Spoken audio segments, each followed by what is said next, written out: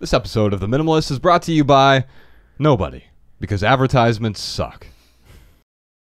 This podcast has bad words. Hello, simpletons. Welcome to the Minimalist Podcast, where we discuss what it means to live a meaningful life with less. My name is Joshua Fields Millburn. And I'm Ryan Nicodemus, and together we are the Minimalists. We're here with another simpleton. That's right. Jamie Kilstein is here in the studio. Hi everybody. Hi everybody. He's back once for being again. here. Yeah. So we're all a little bit gullible and foolish, and that's why we're all the simpletons, really. I like it. That was also like the first time that I've accepted how I've been introduced because of being self-hating. Whenever people are like hilarious comedian, I'm like, "Oh, that's not going to that, let's set the bar lower." And when you were like simpleton, I was like, "Word." And you're like, "I'm down with that." Don't worry, we're the king simpletons. King and king simpleton. Great. Yeah, now, Jamie is a, a uh, comedian. You get to decide whether or not he's hilarious. Yeah. Well, in interviews, usually, whenever I'm set up, like when I when I used to have to do like remember like wacky morning radio, where Yes. it was always like Ryan uh, and I have done way too many wacky Oh, it would be Oh, like these yeah. rock and roll stations, and they're like, "It's farting the girl," and then it was just like a bunch of guys like yelling at this poor woman at like six in the morning while they like pounded breakfast burritos. Uh, Oh my God. They would always, yeah, like try to cue me up for bits. And in Mm. real life, like I like doing, I like talking to you guys. Like I like talking about real things. Mm. So that'd always be like hilarious, man. Then Jamie Kilstein, and they'd be like, "What have you been thinking about?" I'm like, uh, "Institutional racism, war crime," and it would just get so dark and sad. They're like, wait, that's not funny. Yeah, and then I'd be like, all right, see me tonight at the Chuckle Factory or whatever. so anyway, All right, so Jamie will be at the Chuckle Hut this Wednesday. I will this Wednesday, uh, Wednesday through Wednesday. Now, um, here's the thing. Uh, the reason I wanted to have Jamie on to talk about this specific topic because it is a difficult topic. In the new book we're working on, uh, "Love People Use Things," we there's a chapter in there about the truth, and and really the truth is the one of the most difficult things to talk about. Kafka said that you can discuss the truth only through jokes. That's great. A- And I, mean, I think it's why people like Dave Chappelle or Anthony Jeselnik, even who is an absurdist, um, or, or Drew Michael is another one of my favorite comedians. Uh, Jerrod Carmichael is, is phenomenal. They approximate the truth through humor. So hopefully we'll be able to use some humor today to talk about a very serious subject. Today we're going to talk about dealing with toxic people. We're going to talk about uh, defining reassessing, repairing, and also letting go of toxic relationships. Now, I think this is going to be one. This is going to be a classic episode. I feel I can feel it right now because this topic comes up a lot. I, I uh, all the questions today, by the way, Jamie, they uh, they came from the birthplace of toxic, toxicity, Facebook. Yep, yep, yep, yep. Great. So I went to Facebook and I just said, "Hey, we're, we're doing an episode about dealing with toxic people," and it's probably probably the most popular thing we put on Facebook in the last month. Oh, That wow. is so depressing. Right? Uh, yeah, but it, it makes total sense. But we have so many questions. We'll get to as many as we can here on this minimal episode, and then we'll address the rest on the maximum. We'll get even more personal there. Before we dive into our first question, I want to apologize for my facial hair. You're so cute when you try and grow a beard. I forgot to shave this morning, and so if you're watching this on YouTube, feel free to roast me in the comments It below. looks good. It does. That is that beard is um it looks like your 16-year-old self growing a beard, which coincidentally you still look about 16 years old. Ryan and I have been doing this little app that tells us what you what your age looks like in your photos. Yeah.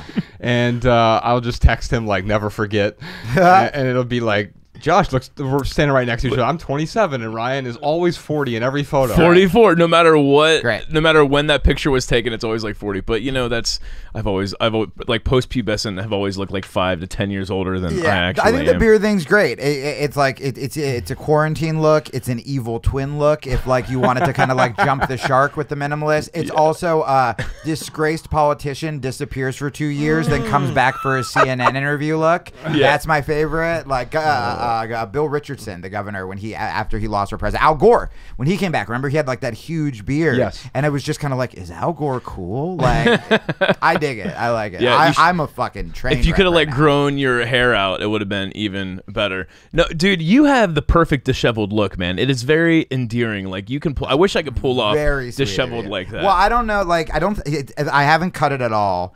I don't know what to. I don't know what to do because I do kind of want to grow it out because I like it messy like this. Mm-hmm. I was talking about this. Uh, I did my first shows back the other day, and I was talking about this on stage where I've you guys know me per like on and off the show, and you know it's been very hard for me to just date, and I used to jump into relationships very, very, very fast, and.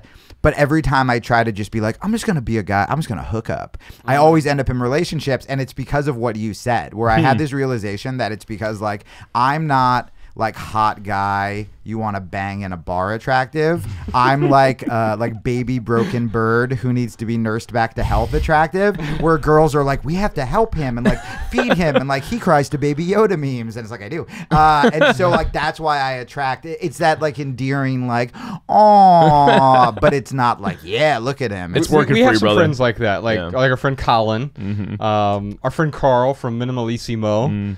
Um, who are bar who are take you home from a bar and bang hot. well, no, they're just like, um, you know, I would stop my life to pursue this person, Yeah. sort Yeah, of thing. yeah. But that can actually be toxic behavior. It is as well. No, no, no. Oh, absolutely. It 100 percent. And so let's let's dive into it. Okay. Our, our first question right now, uh, we, instead of voicemail, I got all of these from Facebook. Eva in London has a question for us, Ryan. What's your definition of a toxic person? Is it a type of person or rather a kind of behavior that appears in certain relationships? Is it possible that I could be a toxic person to you, but a really sincere and lovely person to many others? Yeah, That's now, so- interesting. So let me let me give you the definition of toxic, and I, I have this in our it's the the people chapter of Love People Use Things, which by the way I just turned in the the third draft last night. So our Oh, next book yeah. is coming out. Congratulations. I started the fourth draft this morning at about 5 a.m. Perfect. And uh, so the final chapter, it's, it's a it's a relationship book, but it's about the different relationships we have with ourself. So wh- whether it's with the truth or with our stuff, you know, that's sort of the first relationship we tackle in there. The, uh, the relationship with ourself, the relationship with values or money or creativity or distractions or technology, but then also it ends with our relationship with people, right? And I think one of the things that comes up time and time again is how do we deal and how do we identify what is a toxic person? And so the definition that I have in the book is a toxic a toxic relationship is a harmful or un is harmful or unpleasant in a pervasive and or insidious way. So a toxic relationship is harmful or unpleasant in a pervasive or insidious way. they could have just said all of Jamie's relationships. well, and I think that's that that- that's a thing that like it's if if every relationship tends to to end up toxic. Yeah. Now we we need to define relationships as well because I disagree with what you're saying. I mean, obviously you're joking, but like Totally. you and I have a relationship. It's not Right, It's not right, a right, right. it's not a a sexual intimate relationship. Well, now that you got that, now that you got that beard, it is your, your sexy fourth draft beard. and so um, I'll, I'll dive a bit more into the book a, a little bit later on. But um, let's talk about how do we identify toxic relationships. Yeah, well, I think that I mean the the first thing before I forget, um, Ava's the the very last part of her question I thought was really interesting, which was can I uh, be uh, toxic to someone in particular? Yeah. I think she might be talking about, and you guys tell me if I'm if, if I'm wrong on this, but you could be triggering to somebody Sure. without necessarily like being a toxic person. I think that's kind of maybe what she's describing. Because look, there are Mm. toxic people who, as famed philosopher Miley Cyrus says, come in like a wrecking ball and will just like mess up your shit, right? And Yep. like th- th- th- th- those times, a lot of times, those people are um, narcissistic. Narcissistic, they're selfish. They th- th- just the kind of people who just suck your life force and have to bring you down to. I mean, mm-hmm. I've had relationships where not only were girls jealous of like my friends or jujitsu, but they were jealous like if I meditated. They didn't like if I meditated, like mm. anything that would make me better and therefore Wow. more capable of leaving. You know, Yeah.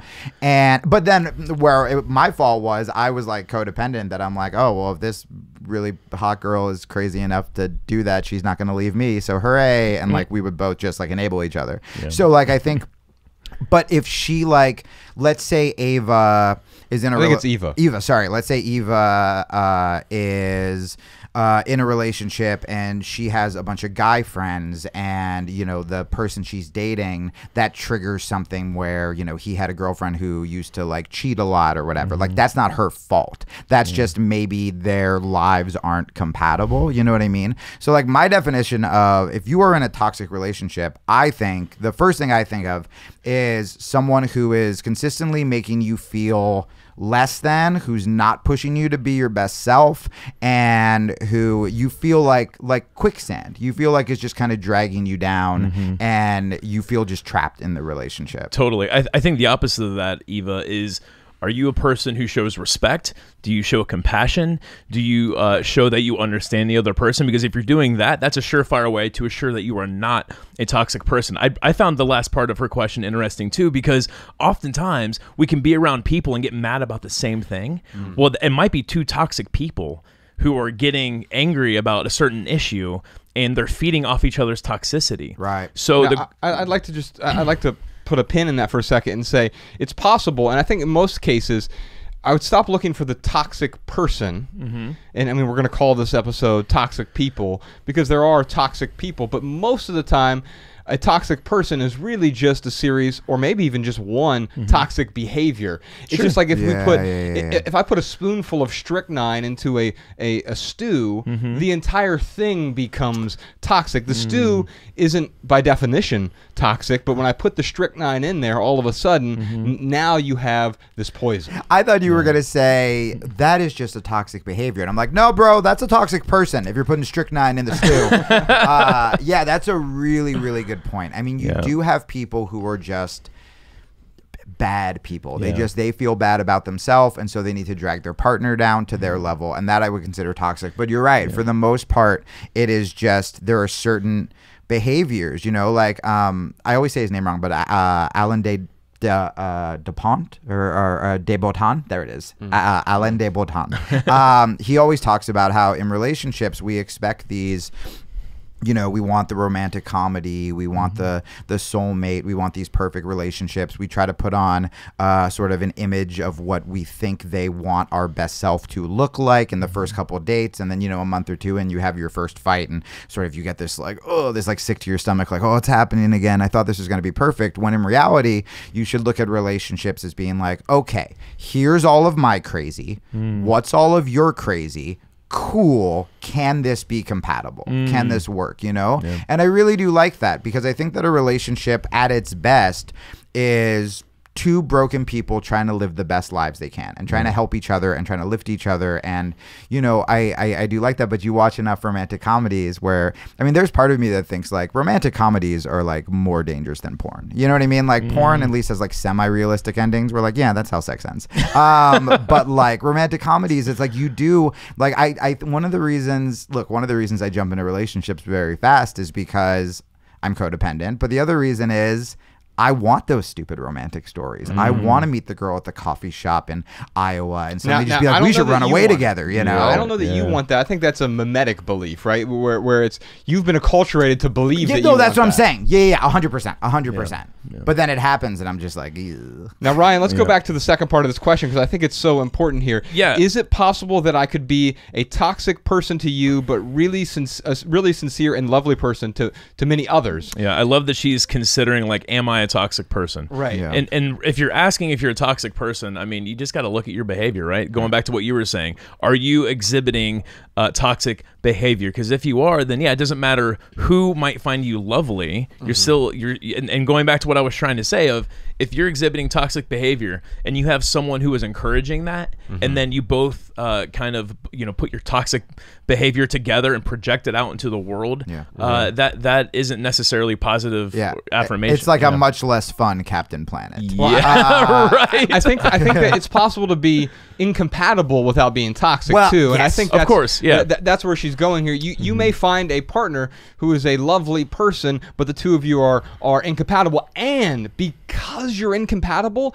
that can lead to toxic behavior on your part or their part Yeah. or, or both parts. Now, I love what Jamie said a moment ago about how two broken people sort of working together to to fix things. I, I, if I were to uh, rephrase that a little bit, now um, there's a song that I recommended on the podcast a few weeks ago by Ken Yates called Two Wrongs, and, and the lyric in there is Two wrongs make us right. Right, And right. and you know, of course, two wrongs don't make a right. But if if we're both broken people, we can still enter a relationship and be better off mm-hmm. because of it. We well, we often say that that um, one plus one equals two. That's mathematics, right? Mm-hmm. But that's not always true. Mm-hmm. One drop of water plus one drop of water is not two drops of water if you combine them together. Totally. And you also you have to be confident because look, we know this from social media. A lot of words are being thrown around uh, recently in the political world with cancel culture and stuff that um, are starting to like lose their meaning. So there is a chance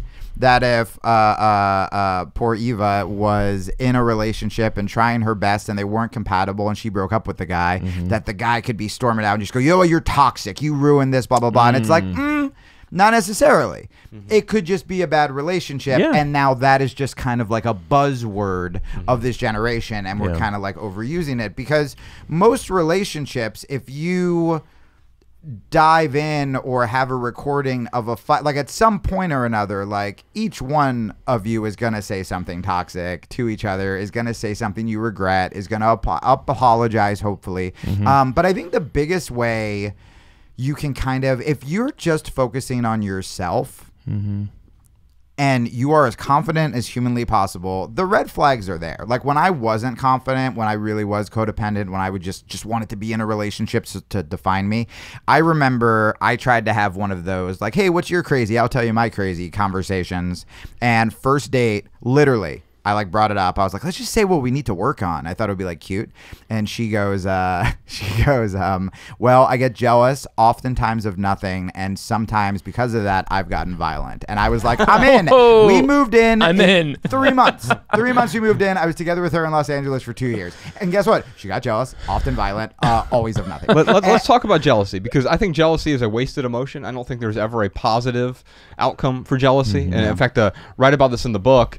Uh, Ryan and I went back and forth on on the virtues that make a, a really good relationship, and I, I can talk about some of those here. I mean, it, to me, there are uh, a bunch of different ways you can you can repair and strengthen your relationships, and, and there are good virtues like caring and love and understanding and tolerance. We, we, we can talk about the good virtues. Yawn, get to the good stuff. To What- the jealousy. Yeah, jealousy is one of what we call the 13 overrated Yeah. virtues. I like Um, that. I like and, that. and- and so there are th- there are 13 virtues in our life, and many of them we, we recognize as being like I don't think there's ever room for jealousy. There are other virtues like empathy, which I think there is room for, and we, we clarified that in the book, but I think it's wildly overrated. Mm-hmm. Empathy is very far overrated, but we often use the term empathy to mean compassion.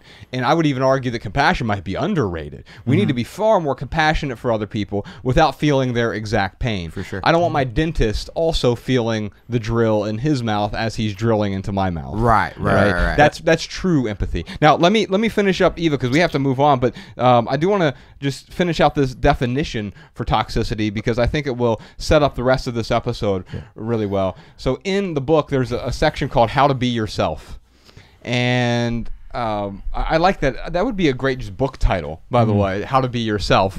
And, and in this section, we we sort of set up toxicity, and, and it comes right after this section about finding empowering relationships. And so that's some context for you here.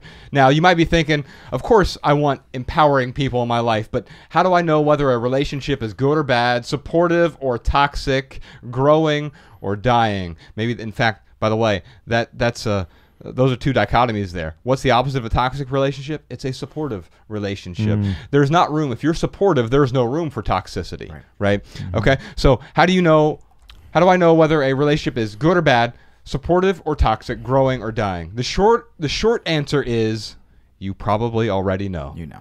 If you're wondering whether a relationship is toxic, it probably is. A relationship is toxic when it's very harmful or unpleasant in a pervasive or insidious way. Does the relationship constantly make you feel sad, agitated, or upset, anxious, angry, or scared, guilt ridden, chast- uh, uh, uh, chastised, or regretful? Then there's a good chance it's toxic. But when a relationship is truly outstanding, you don't wonder at all. You just know it's outstanding. It literally stands out. And so I, I think that's the thing. When we start wondering, like, I've, I've never wondered about, like, is my relationship with Bex toxic? Um, because like uh, there hasn't been any toxic behavior that has led there. Now, Because if you said that, shit kill you. and so Eva, I'm gonna send you. I can't send you a copy of this book because it's not out yet. But we have a, a book called Essential. It's an essay collection with 150 essays about simple living, intentional living, 12 different areas of intentional living. One of those areas has to do with relationships, and I think you'll find a lot of value in that book. It's called Essential Essays by the Minimalists. If you like our podcast, it's it's actually our longest audiobook. It's over six hours. So Sean, if you want to give Eva the audiobook version of Essential, or if she wants the book book or the ebook version, we're happy to send those to you as well. Ryan, Christina has a question for us. Christina from LA, how realistic is it to expect to find a partner that's on your own frequency? I've got a wonderful partner, but he struggles with untreated depression and won't acknowledge it. He's very good to me, but disagrees with much of my social justice, peaceful, kind, minimalist ways. I love him, but feel drained after spending much time with him. I'm always giving. I want to receive too. That's fair. Yeah, yeah. Uh, totally let, let me just say this. so I'm going to set you up yeah. for the uh, set you up for this, Jamie. Um, I love him, but I feel drained after spending much time with him. I could actually, if you did- just were to tweeze out that sentence, Yeah. that sentence applies to me and Bex. Uh, in fact, it's the reason that we have you know a, a, a non-traditional living situation, right? And it's because I need copious amounts of alone time. Now, the key has been setting that expectation well in advance. Now, Jamie, tell me about Christina's question here. Um, is it realistic to expect to find a partner that's on your own frequency? So, I think what most people do is they try to force it, right? Mm. Because they do. Did you guys ever see Daniel Sloss's um, Netflix special Jigsaw? No, I've heard you recommend it. You though. guys would have to check it out. love it, He's such a good comic, and the the the Netflix special. Uh, the last time I talked to him was responsible for causing, I believe, over like. 50,000 breakups, like uh, a couple Oh, wow. hundred divorces. And it's not him trashing couples by any means. Uh, Actually, I think when he did my podcast, he announced that he was actually in a relationship and really happy. And everyone was like, you son of a. Uh, and But it wasn't trashing it. It was saying that we don't appreciate ourselves enough. And it's so funny. As I get older, I realize that all of these cliches that people tell you are essentially the keys to life. You just ignore them, right? So, like, for years, people are like, you have to be alone uh, to learn how to love yourself before you love others. And I was like, that's stupid. And I would move in with some other girl who would like hit me. Uh, and then, you know, I did what uh, everyone does uh, when they turn 38 and are single for the first time on Valentine's Day. I took mushrooms and I was like, I need to be alone. And it was amazing. And I've been alone and I've been happy and I've been confident for the first time. And I ended up in so many relationships like she's describing. And I, and a lot of times, I just settled, and that's what Sloss talks about. Like we just settle because we think we somehow found our soulmate who happened to live in the same neighborhood as us, and like you know. And he was joking around that the second something gets bad, he's out. Um, and there is, you know, I mean, that's kind of hyperbolic, obviously, but there is something to it sounds like she may be, you know, for the longest time, I just wanted to fix people. I thought that, like, I would be the one who comes in and saves the day. And women are actually known for doing that, right? They're like attracted to the broken guy. And, like, because I've been the broken guy before, too, who I'm sure they want to fix. And, um, I don't know, man. I think that it sounds like the way she's describing it, it doesn't sound like what you were saying with like you and Bex were like you need like alone time. It sounds like she comes in, and this is what I relate to very much. Um, and I don't have an answer. I'm just kind of rambling, but I just related so hard to this email where it sounds like she. For I'll speak for myself. I would come in and be like, "Hey, I know you've been like." Really bummed out and like we've been fighting but like what if we did this? What if we just started like working out together? Or what if we like make this thing? Or what if we go on a road trip? Or what if we mm-hmm. and then the like eeyore on the other side is just like i don't want to i don't whatever. So you just feel like you're just giving and giving and trying and trying. And because you see there's decency behind that sort of wall of negativity or depression or whatever you feel like it's your job to fix it or you feel like you would be a bad person if you leave the relationship or Right. selfish. I mean one of my friends is in such a toxic emotionally abusive relationship and she's like but i don't want to look like a monster if i leave and i Oh, but i think so many people feel that Yeah, way no, I'm- they I'm feel like they're I'm laughing. breaking up the family you No, know I'm, I'm laughing because. I've, I I see that in, in myself. Now now Ryan, um, with with Christina's question here, I mean, there's something telling about the is it realistic to expect. Here's what I'll say: is don't expect love. You don't just simply fall in love. In fact, the when I fell in love with Bex, you fell in love with Mariah when we stopped looking for it and trying to pursue it in that way. However, I think it's a weird expectation because somewhere around puberty, and it's often because we've been acculturated to do so, we start to expect love in ways that we don't expect other grand things in life. Like uh, we don't expect to just get an education at Harvard, right? We don't have a soulmate diploma waiting for us somewhere. right. We, we don't expect a million dollars or six pack abs. What we do is if we want those things, we work at it. Right.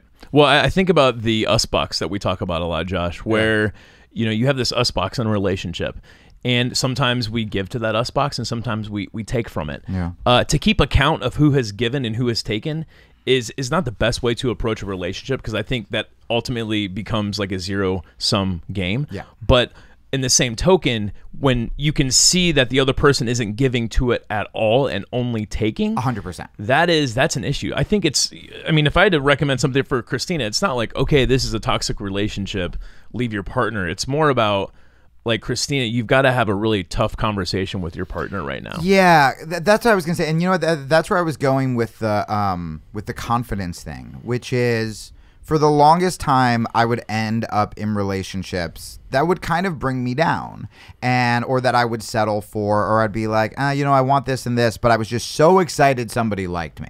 Anytime a girl would approach me, to this day, this kind of happens. Like if some like Instagram model hits me up, I'm like, did you DM the wrong account? Like, did you mean to like uh, uh, some hot other like Jamie from Brazil or something? And and so I'm always just I was always so grateful that someone was just there. And ever since I've been single uh, for the first time in my life this year, I am like I'm going to design because look, being single, getting dumped, guys. I literally my life was bad before COVID happened. Uh, like I got dumped, lost my cat, like all this shit in the same week. Then quarantine happened, right? And so if I wanted this narrative of like I'm alone in quarantine, about I would have doomed, doomed, doomed, Yeah, doomed. And instead, I was like, I'm going to design the exact life that I want to have forever. So when I find someone, they're either going to enhance it or we can enhance enhance each other's lives, but mm-hmm. I'm not going to be settling. And so that's what I did. I've always wanted to wake up at five. I've always wanted to meditate. I've always wanted time to read books, to do jujitsu, to go hiking, all this stuff, and I do that now. Mm-hmm. And so there, uh, where that ties in with her is.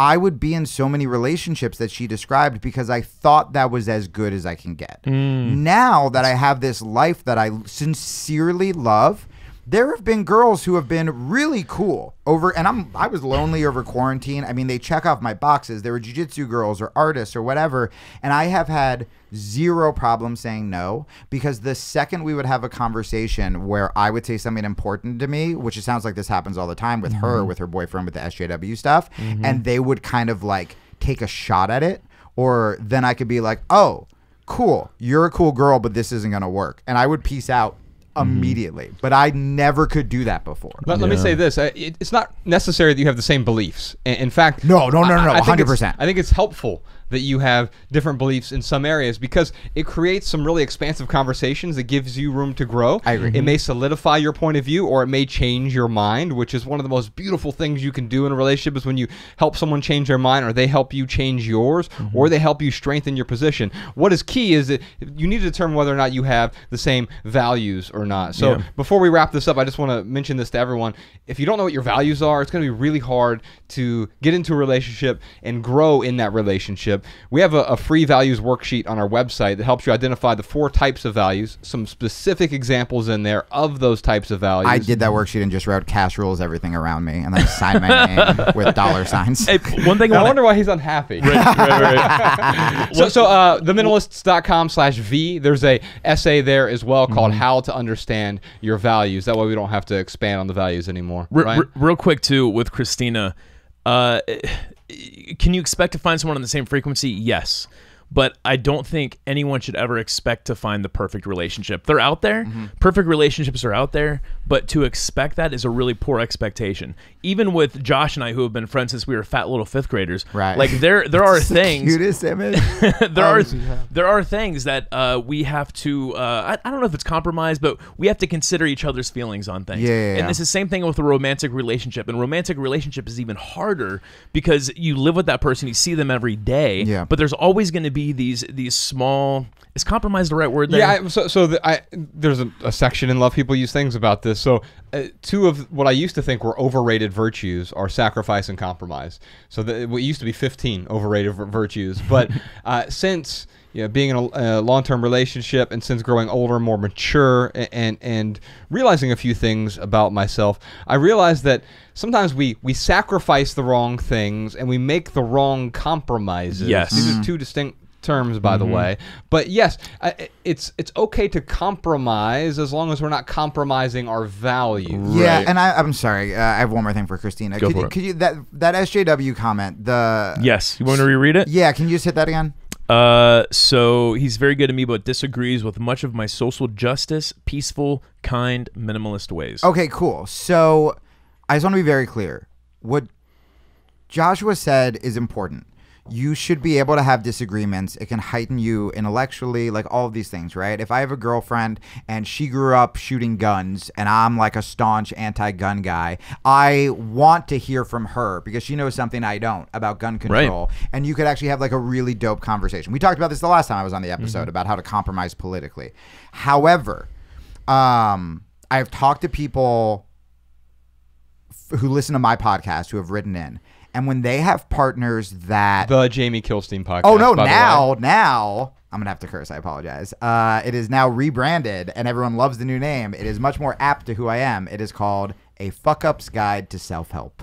Um, That's wi- good. Yeah, it's pretty great, and the the logo is just a cartoon me face down. Like it's perfect. um, so if you have a partner that makes you feel like stupid for trying to better your life is where I lose my patience. So if every time she goes, you know, hey, you don't have to do this, but like I watched this minimalism documentary and I think I would feel really better if I like donated my clothes and he feels guilty for whatever reason or he starts to project and he goes after her or if she, you know, or if she really does care about a political issue. Yeah. You know, and posts about Black Lives Matter or whatever, and and and he makes her feel dumb for doing it. That is different than disagreeing. I've had women uh, write into the show who have wanted to lose weight and become healthy, and their partners attack them for it. Why? Because they are unhealthy and they don't want to fix themselves. And I think if you don't want to fix yourself, right? Cool.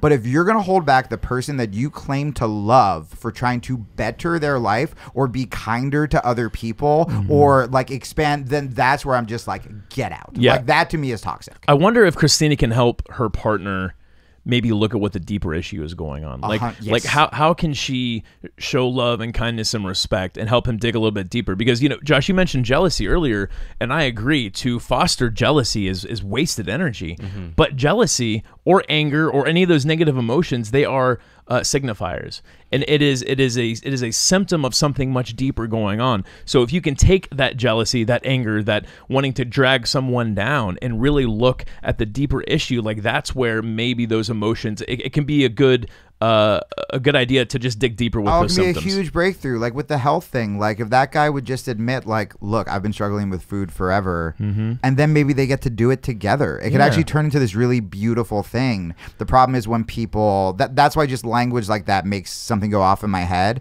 It's when people double down and it's just kind of like I'm gonna be miserable, so everyone around me has to be too, instead of like, hey, this sucks. Let's let's help each other. yeah. we have to move on but i need to get the last word in here remember this you can't change the people around you, but you can change the people around you. And too often, I think hmm. we try to change someone. I'm going to make you a minimalist. I'm going to make you fit. I'm going to make you make more money or whatever. Of course, you can't change someone. You can inspire them, perhaps. Mm-hmm. And, and that's great. I mean, in fact, we she uses that word partner in her question.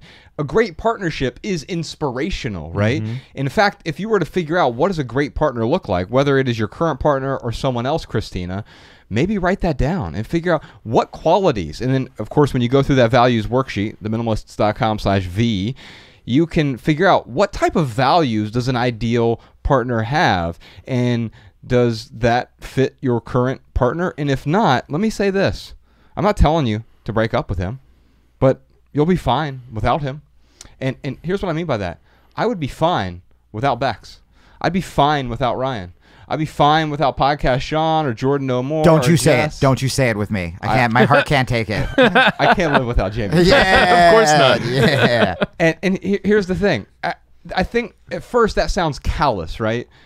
We have a rule in our minimalist rule book, 16 Rules for Living with Less, which is mm-hmm. a free ebook on our website if you want to check it out. One of those rules is called willing to walk away rule. Mm-hmm. And in my life, I'm willing to walk away from any physical item. I'm willing to walk away from a habit, from an idea, and I'm even willing to walk away from people. And at mm-hmm. first, you're like, well, wait, that's really cold. Is that compassionate? And I would posit that it is probably the most compassionate thing is your willingness to walk away because that means that my relationship with Podcast Sean or with my wife or with mm-hmm. Ryan is not birthed out of some sort of pious obligation. Right. Mm. It is birthed out of a daily commitment. In fact, Bex and I have this conversation once a month. Hey, do we still want to be in this? Mm. And man, that's a hard conversation the first time you have it, but every time after that, it gets easier and easier. And now it's just sort of like a check in. Hey, uh, i- and it's more like, do we still want to be in this? And if so, what does this look like going forward? You know, my insecure self of yesteryear would have thought you were just a real jerk.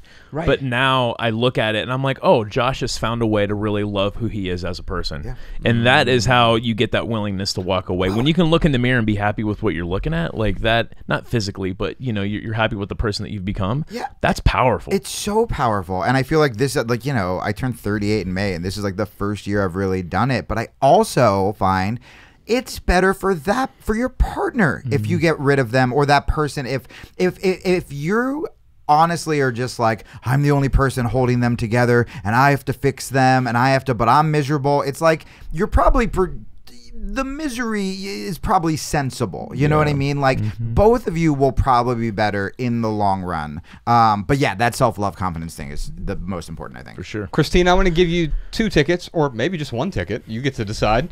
To our Los Angeles tour stop this uh, November. Uh, we're going back on tour. Uh, we've got a bunch of cities all over the U.S. Um, we're starting with the the West Coast. Uh, it's called the Les Coast Tour. I want to see you guys on tour. I didn't know that. Well, That's you, awesome. You should come on out. Maybe we'll even have him as a special guest at one. Oh, of yeah, them. we We'll could. do a surprise. oh, I'll That'd do a great. set. I'll intro you guys. I would Oh, love that it. would Well, be awesome, Let's let's Oh, talk about okay, it. a Um, hundred percent. So Yeah. maybe it'll be Los Angeles, maybe it'll be somewhere else. Uh, in fact, if you don't see a city near you on our website, theminimalists.com/tour, just put your email address in there. We'll never send you spam or junk or ads, but we will notify you if we oh not if when we are coming to a city near you. And that's not just the us and canada. That is worldwide. We've got a, a new documentary and a new book coming out so i can imagine we'll be all over the place soon. Theminimalists.com slash tour. Christina come on out. Get a hug they're free and transferable Are we hugging on this tour? i mean i've been hugging a lot recently Oh, that's right. You're invincible now. that's right i'm invisible you guys are the only ones that would hug me in Los Angeles. Which also means if I have COVID, I know it's from you guys. That's pre-COVID though. yeah that was before the pandemic Right. yeah, yeah, yeah, yeah. Hey, all right Josh, you know uh, what time ryan it is? what It's time for our lightning round. what do we do during the lightning round You know what we do. You we tell Jamie to shut up when he's going too long. This is where we answer your text messages. You can text your questions and comments to 937-202-4654. You can even text your emojis of what you've gotten rid of recently. That has been really fun. A lot of people are texting what they're decluttering. They'll That's just s- send us amazing. emoji. Now, now those texts go literally to both Ryan's and my phone. So if Hmm. you text that phone number 937-202-4654, we respond to as many people as we can, and we even respond to some people on the podcast. Now, Jamie, you probably recall during the lightning round, Mm-hmm. this is where Ryan and I and our guests do our best to answer every question with just a short, shareable, less than 140 character response. We put the text to these minimal maxims in the show notes so you can copy and share our pithy answers on social media if you'd like. And now you can find all of our minimal maxims in one place minimalmaxims.com. All right. Ilzan has a question. How do you deal with toxic people in the workplace? I love my job, but the environment is toxic. I feel like leaving, but my heart aches when I think of the great work I'll leave behind. Well, let me give you a pithy answer, Jamie, and you you expand for me Oh, here. thank you. You're saving me. Malice never intersects with meaningful work. Oh, that was gonna be mine. That was, that was my pithy answer. Verbatim. So I guess I'll just do a long one.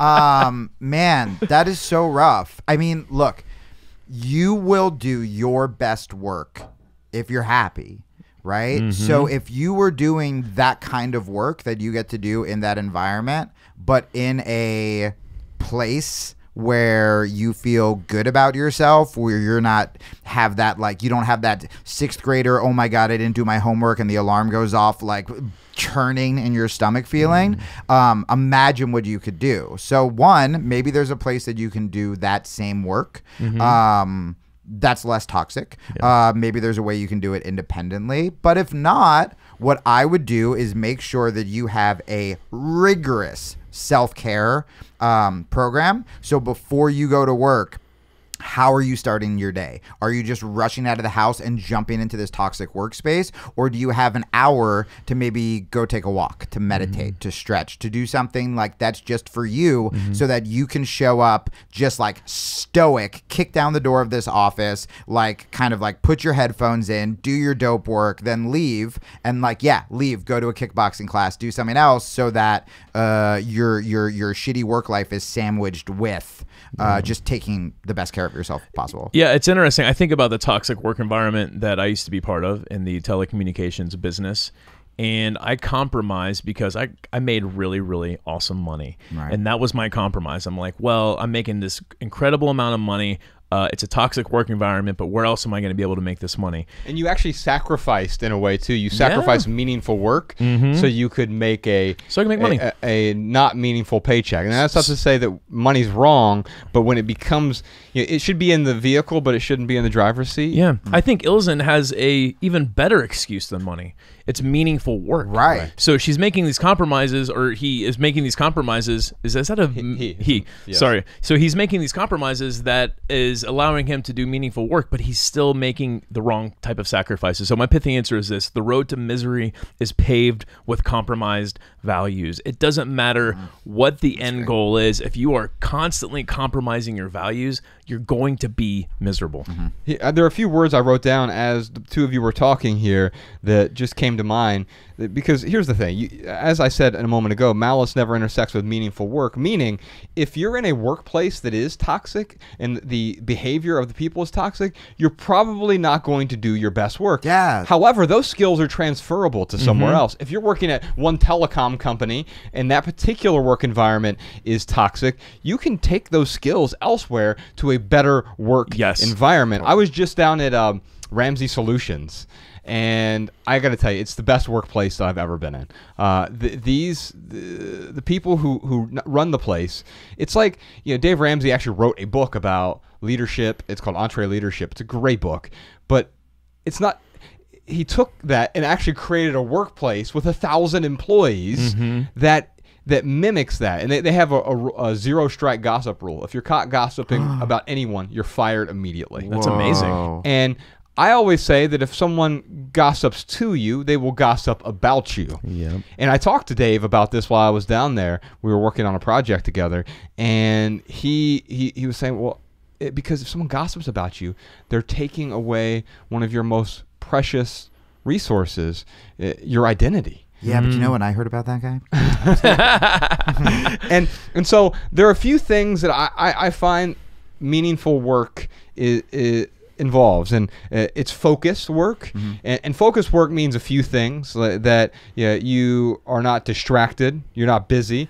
It's hard enough that it, it makes sense to keep doing but it's it's also not so hard that you lose interest like if someone were to bring up quantum physics i just like i, I- I zone out because it's not for me ryan is actually enjoys something like that so it, it may it may make sense for ryan to dive deep into quantum physics he could be focused on it for me it wouldn't it wouldn't make much I cannot sense dive deep into quantum physics. Oh, okay. well, right, right, but, But I do enjoy talking me. about it. Yeah, you yeah. could go farther down Sure, the rabbit hole sure. than I would Yeah, yeah. because of interest. It's not because I'm I'm less smart than you necessarily. Necessarily, but it, it just means that I, I don't have that same interest level. And the same is Mm-hmm. true with like reading Infinite Jest, for example. That, that mm. doesn't interest you. That's why I never mm. recommend that book to people mm-hmm. because it takes you know, quite the rabbit hole. Just somebody give me a copy of it where I don't have to keep flipping to the back of the book. That's all I want. That's all I Get the want. Kindle version. That's fine. Thank you very Um, all right, uh, a few other words. Content. Uh, so Jamie said you want to be happy, and I agree with that. You want to be happy, but happy happiness is fleeting. Uh, contentment is not, and so so I would encourage you to find work that that you are content with, and ul- ultimately that you're joyous with, that you experience joy with, Yeah, yeah. because joy makes room for all the other emotions. There will be drudgery, but there is room for drudgery with joy.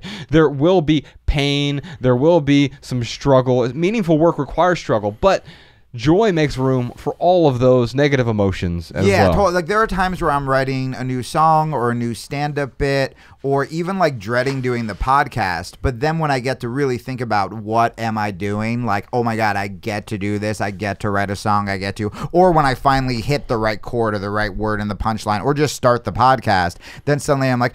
Ha, this is dope. Like, it doesn't mean you're gonna find something where you're just like happy all the time and whatever, but you mm. should be, your baseline shouldn't be like dread. Right. Tweet that podcast, Sean. Your baseline shouldn't be dread. All right, Jamie, Ryan, uh, before we get into our listener tips Mm-hmm. and our added value segment today, our added value segment does tie into the whole toxic people thing, so stay tuned for that. Is a Britney Spears song toxic? Oh, I hope it is. Spoiler alert. Actually, no, it's not. Okay. Um, but uh, we do have a bunch more surprise questions, and, and you're going to love these. Uh, how do you let go of toxic family members? How do you divorce a close friend? These are so good. What's the difference between a savable and an unsavable relationship? How do you get past the trauma and pain of toxic relationships? How did Jamie overcome his recent battle with suicidal thoughts? Yeah, baby, still here. Um, also, we're going to talk about uh, the toxic relationship that Ryan and I had that almost ended our friendship about 10 years ago. Plus, we're going to discuss two toxic relationships that I had to end this year personally. Also, uh, you heard about Chris D'Elia's ca- scandal? I mean, Oh. you and I were texting about this last night. I have not heard about it. Oh, we're, you we're, haven't? we're going to No. touch on it. So, Uh, uh, I've got some thoughts. get ready to hear Ryan's horrifying reaction when he Yes. finds out what happened. Yeah, it's you, you're going to be not good. really? Yeah, we'll not get good. into it on the maximal. Also, that uh, that and a million more Did questions. his character and you come true? uh, yeah. Yes. All that and a million more questions for Jamie Kilstein. Oh, and uh, there's one thing. It's on the table right now. You can't see it if you're watching this on camera. You'll be able to see it on the maximal. I purchased something, Ryan. Don't say what it is because it's on the table. You are. I purchased something you're a phony. that I shouldn't have purchased this year.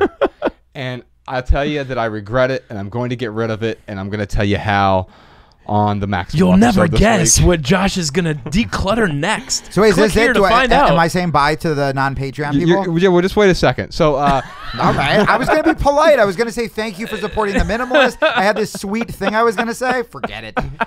I don't want to hear there's your Yeah. there's room for that, but we're we're almost there. Yeah, all Okay, okay, right. okay, So okay. uh, this week, that's all that. Uh, the rest, everything, all the questions we just discussed, th- those will be on the Maximal episode this week. Uh, you can check out. It's on the Minimalist Private Podcast. It's a completely separate podcast, and it's just a couple bucks.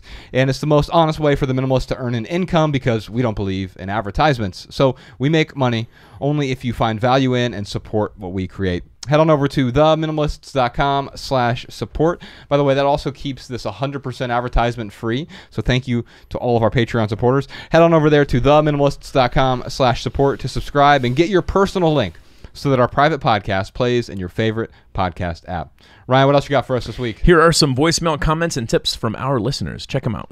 My name is uh, Nick Kozan from Evansville, Indiana, and uh, I just got done listening to episode 55 on critics, and I just wanted to share a quote that I heard from my friend, and uh, he got this from his grandpa, and it's all, one of my all-time favorite quotes now, um, and it is, "Don't take criticism from someone you wouldn't take advice from." Hello, this is Cece from Minneapolis, Minnesota, and I just want to quickly recommend something that's added a lot of value to my life for a while. Um, it's a website called unroll.me, U-N-R-O-L-L dot M-E, and you just enter your email address and it pulls up every single email list you're subscribed to, and then you can easily look at the list and just click unsubscribe um, from all these email lists. It's a lot easier than scrolling to the bottom of an email and finding the unsubscribe button. So yeah, that's helping me a lot lately. All right, Jamie. Now this is the part where you say nice things about us. I have ready, nothing go. to say. I have nothing to say. Listen to my podcast and only my podcast. I agree. uh, thank you guys for listening to this show. I mean, I think like it, it's been so cool. Um, not cool, but I mean, like quarantine's been really hard for a lot of people.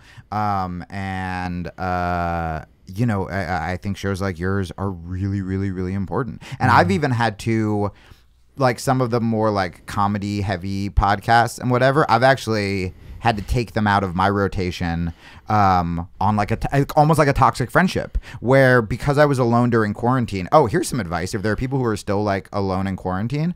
Um, you know how they talk about like you are the five people you surround yourself with or whatever. Yes. If you don't have people you can make that what you are taking into your brain, whether it be books, whether it be podcasts. Because when I'm listening to some of those comedy podcasts that are just talking about like getting like trashed on the road and like sleeping around or whatever, there's still that little high school part of me that's like, oh, that's cool. That's what I want to do. And when I listen to podcasts like your guys, I'm like, oh, I should just be a good person. Um, So thank you to everybody. And uh, yeah, my podcast is uh, a fuck up's guide to self help.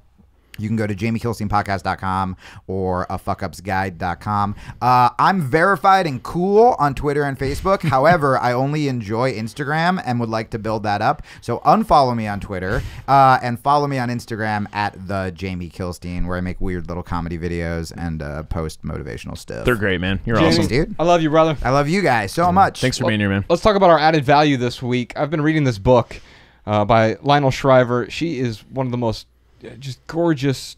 She writes some of the most gorgeous prose that I've read in a long time. Uh, she wrote that book called. Uh, we talked about this on a Maximal episode, but just I just touched on it briefly. I didn't really talk about the book at all. She wrote uh, some thoughts about Kevin, which would turn into a film. Which Oh, yeah, pro- yeah. Oh, yeah. That film was best. up. yeah, yeah. The so is the book. Okay, and, cool. and, and so she has a new book out called "The Motion of the Body Through Space," and it's sort of about aging, uh, Hmm. and, and but it's and also it's about this marriage. So there's this aging couple. They're both in their 60s. And their bodies, they're both really healthy and physically healthy, have been most of their lives, but their bo- bodies are breaking down. And there's some sort of toxic resentment between the two of them and it manifests because it's in third person so there's a narrator who's sort of inside their thoughts and it's great to see the inner workings of toxicity among two seemingly good people Oh, I want to read this. it's it's a really good book. Uh, we'll put a link to it in the show notes. Also, a link to, to Jamie's podcast in the show notes as well. The book Oh. is by Lionel Shriver. It's called The Motion of the Body Through Space. And real quick, for right here, right now, here's one thing that's going on in the life of the minimalist. My writing class is finally coming back. It's back, baby. oh, sick. 20 or no, uh, 48 hours only. Howtowritebetter.org. We're going to open up enrollment at the end of July, but go ahead and put your email address in there now. and We'll notify you. It's the first 100 students. What we do, I only do this class two, sometimes three times a year. And so this will be our, our summer class. Uh, enrollment opens for 48 hours or until the class fills up. We'll notify you via email. Also, if you put your email there at howtowritebetter.org is the email or is the, the website, you'll get the free ebook 11 ways to write better. You really missed a good opportunity to name it like how to write best. I was gonna write. I was gonna name it "How to Write Gooder." How to write good. How to write gooder. That would have been good. Uh, you can follow the Minimalists on Facebook, Twitter, and Instagram at the Minimalists. Come to one of our live podcast shows. Visit theminimalists.com/tour to find a city near you. Have a que- if you have a question, comment, or minimalism tip for our podcast, email a voice memo to podcast at theminimalists.com. You can comment on this episode at youtube.com slash the minimalist. Let me know about my facial hair. And if you want mm-hmm. our show notes in your inbox, sign up for our email list at theminimalists.com. You also receive our simple Sunday emails whenever we send those. And if you leave here today with just one message, we hope it's this love people and use things because the opposite is toxic. That's great. All right, y'all. Thanks for listening. We'll see you next time. The Minimalists.